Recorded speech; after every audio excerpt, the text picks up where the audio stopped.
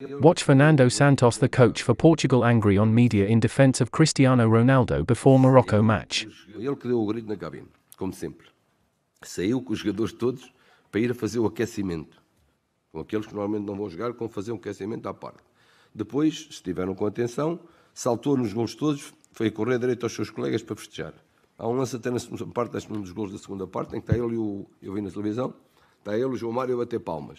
No fim, foi ele que chamou os colegas, eu estava dentro do campo a comentar os árbitros, foi ele que chamou os colegas para ir ao público, para agradecer ao público.